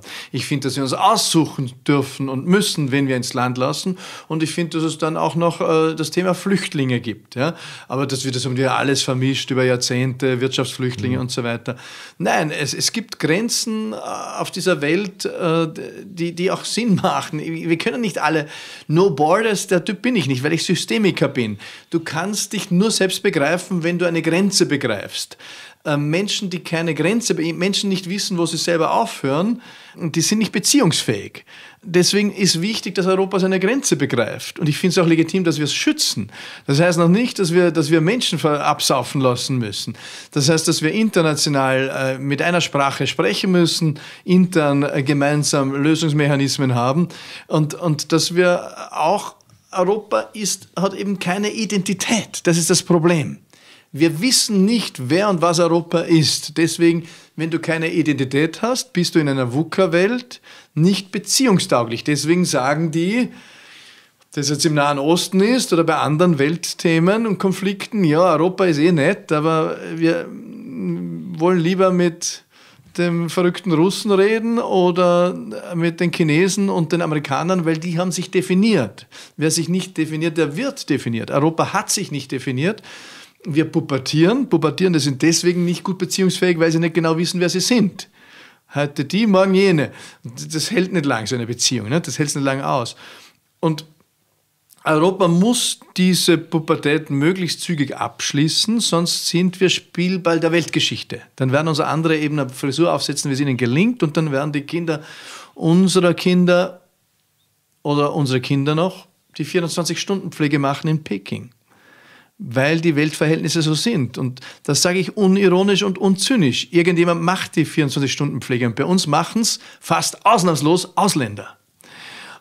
Und das ist natürlich eine Form auch von Machtausübung, die wir hier das sind aus individueller Sicht ökonomische Verdienstchancen für diese. Nur natürlich bezahlen wir sie beschissen und gab es dann auch noch eine äh, schwarz-blaue Regierung, die ihnen auch noch die, die Familienbeihilfe runtergerissen hat und so weiter. Ja, wir, wir finden keine Einheimischen, die diese Arbeit machen. Deswegen äh, nutzen wir unsere Macht, um Ausländer dafür einzuführen. Und so wird es China machen. Und wer werden diese Ausländer sein? Wir sind Kandidaten. Das muss man einfach so sehen. Das ist der Weltengang. Also Afghanistan war mal die Schweiz des Nahen Ostens vor, vor gar nicht allzu langer Zeit. Ja, ähm, in, in ein paar Jahrzehnten und Dinge beschleunigen sich massiv. Europa kann in drei Jahrzehnten ein Armenhaus sein. Ist nicht naheliegend, weil wir schon resilient sind und wir nicht alle schlecht reden. Nur Dinge können sich ganz schnell ändern. Also es gibt in Deutschland Leute, die haben, die leben noch und die haben erlebt. Einen deutschen Kaiser, eine Weimarer Republik, ein tausendjähriges Reich mit einer Diktatur, wie sie die Welt noch nie gesehen hat, äh, mit einem Flächenbrand, äh, äh, mit 40 Millionen Menschen, die massakriert wurden aufgrund der politischen Entscheidungen, die dort gefallen sind, von Volk gefallen. Und Österreich hat kollaboriert. Nicht? Die haben erlebt, die Bundesrepublik Deutschland und die Deutsche Demokratische Republik als Ost als Ostblock. Die haben erlebt die Wiedervereinigung von Deutschland in einer EU. Alles in einem Menschenleben. Es wäre doch naiv zu glauben, hier sitzt der Stefan Schett und ist 30 oder ein bisschen um den Dreh ja, genau herum. 30. Genau 30. Und du wirst, es sei dir gegönnt, 95 und die nächsten 65 Jahre bleibt es eine Demokratie und das ist Gesetz, selbstverständlich. Dagegen spricht jede Statistik der Weltgeschichte, nur weil es jetzt gerade mal 70 Jahre ruhig war. Das ist die Anomalie. Die Normalität ist, dass du Krieg erleben wirst. Das ist die Normalität von sämtlichen Generationen zuvor. Falls sie 90 Jahre gelebt haben, haben sie in der Regel mehrere Kriege erlebt. Das heißt, wenn wir das nicht wollen, dann werden wir uns dafür einsetzen müssen, dass es nicht so wird. Sonst wird es so sein, weil sich Kräfte darum bemühen, dass es so sein wird. Da, da, da haben wir einen völlig falschen Blick, finde ich, auf diese Dinge. Wir glauben, das ist alles gesetzt. Eitel, Wonne, Waschtrag und Konsumwaren. Nein, es wird uns wild schütteln. Es wartet Zerstörung auf uns im großen Stil und es warten auch natürlich äh, neu Erstehungen, weil nach jeder Zerstörung ganz viel Humus da ist und auf dem wächst das Neue. Ob das immer gut ist, ist was anderes. Aber wir haben natürlich immer auch so geflügelt gesagt, der Krieg ist die Mutter aller Dinge. Wir haben den gesellschaftlichen Reset in unseren Breitengraden, gerade in Europa, meistens und fast ausschließlich bei den großen Brüchen gesellschaftlich, auch im Guten, über Kriege gemacht. Also viel Gutes ist nach Kriegen gekommen. Zum Beispiel, dass die UNO aufgestanden ist, dass die Europäische Union aufgestanden ist. Das ist alles fürchterlichen Kriegen geschuldet, weil wir sagen, nie mehr wieder, wir wollen es besser das machen. Das Internet. Das Internet, ja. Und das heißt, wir, wir wissen noch nicht, ob Demokratien die Kapazität haben, und jetzt mache ich es konkreter, ob Wählerinnen, Wähler in Demokratien, weil, weil wir immer so reden, die Scheißpolitiker und so weiter. Ich glaube, der wichtigste Job in einer Demokratie ist die des Bürgers, der Bürgerin. Wir wissen nicht, ob der Mensch die Kapazität hat, Demokratien äh, über Generationen zu halten. Oder ob wir uns eben äh, dort wieder verirren äh, in andere, wenn wir sagen, die Sehnsucht nach dem starken Mann und es ist alles so kompliziert wir wissen nicht, ob Demokratien fähig sind und auch die Wählerinnen und Wähler fähig sind, nachhaltige Reformen auf demokratischem Weg zu organisieren. Es gibt noch zu wenig Evidenz geschichtlich, weil diese Demokratie ist, ist gerade mal ein, ein, ein, ein, ein Herzschlag alt äh, im Sinne der, der Geschichte unserer Spezies und die kann auch planetarisch wieder verschwinden. Leute wie der Herr Thiel, äh, bei dem Sebastian Kurz mitarbeitet, wenn man von Thiel seinem, seinen Wikipedia-Eintrag liest, dann ist, sagt er auch ganz offen, weg mit der Demokratie. Das ist dumpf. Ne? Gibt es uns die Macht, wir Milliardäre, wir haben bewiesen, wir können es. Und Elon Musk tickt ein bisschen ähnlich, mhm. habe ich den Eindruck.